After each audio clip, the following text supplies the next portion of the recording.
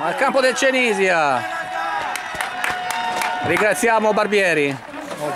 No. No, no, è una cosa tra me e Barbieri.